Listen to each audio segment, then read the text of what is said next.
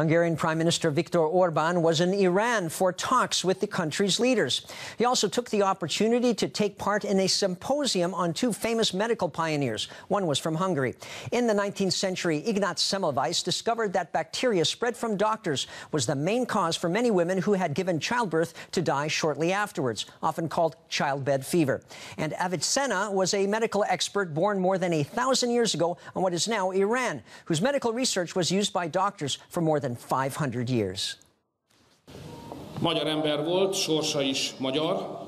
He was a Hungarian and so was his fate. His discovery and him introducing strict hygienic standards created many enemies for him. This is about a Hungarian feel for life. He wanted to do good for the world.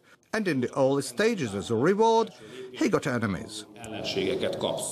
The works of Ignaz Semmelweis and Avicenna have left their mark on universal healthcare, said Hungarian Prime Minister Viktor Orban on Tuesday in the Iranian capital at a symposium on the occasion of the 120th anniversary of the death of the Hungarian physician. The Hungarian Prime Minister added that the unveiling of the statues of the two scientists also represented the friendship between Hungary and Iran. I kindly ask you to remember that 3,000 kilometers from here, there is a people who is growing in the sense of minds and the discoveries they are making, and who would gladly exchange the experiences with their friends, said Orban.